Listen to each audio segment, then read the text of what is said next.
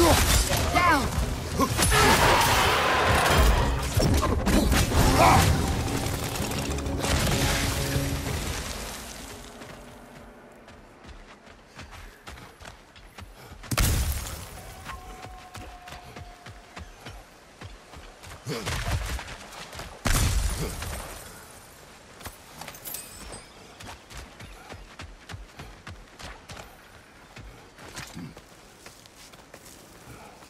You know why I left that night, Mimir?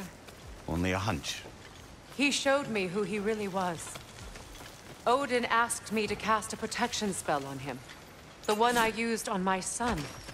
But the way it drove our boy mad, I refused. He was furious.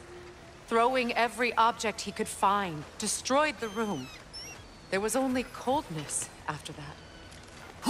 I tried to make it work, No one could have lived like that, Your Majesty.